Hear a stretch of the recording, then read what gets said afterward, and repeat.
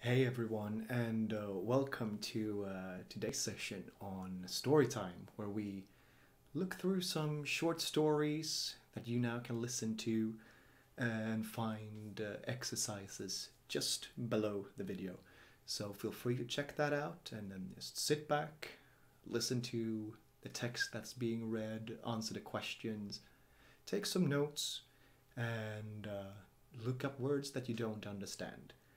And today we are reading The Old Man and His Grandson by the Brothers Grimm. So let's get into it. Enjoy.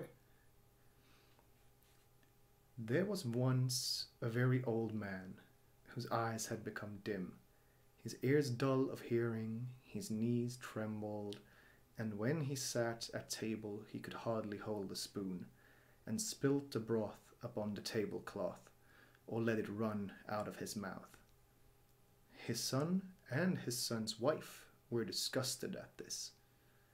So the old grandfather at last had to sit in the corner behind the stove, and they gave him his food in an earthenware bowl, and not even enough of it.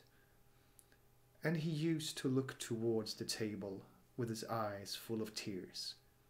Once, too, his trembling hands could not hold the bowl, and it fell to the ground and broke. The young wife scolded him, but he said nothing and only sighed.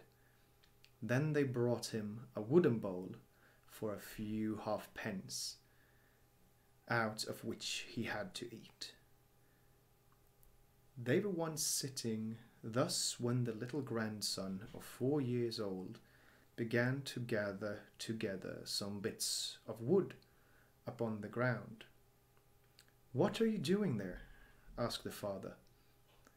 I'm making a little trough, answered the child, for father and mother to eat out of when I am big. The man and his wife looked at each other for a while and presently began to cry. Then they took the old grandfather to the table, and henceforth always let him eat with them, and likewise said nothing if he did spill a little of anything. So, thank you guys for listening, and check out the uh, questions below and see what you think about this short little story. See you next time.